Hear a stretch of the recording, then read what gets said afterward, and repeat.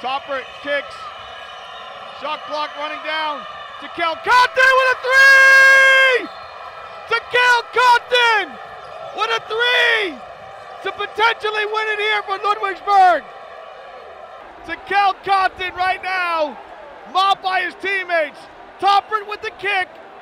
Cotton, who's guarded closely by Josh Carter, gets it out of the outstretched hands of Carter and makes it rain. This one from Cotton. Nothing but nylon.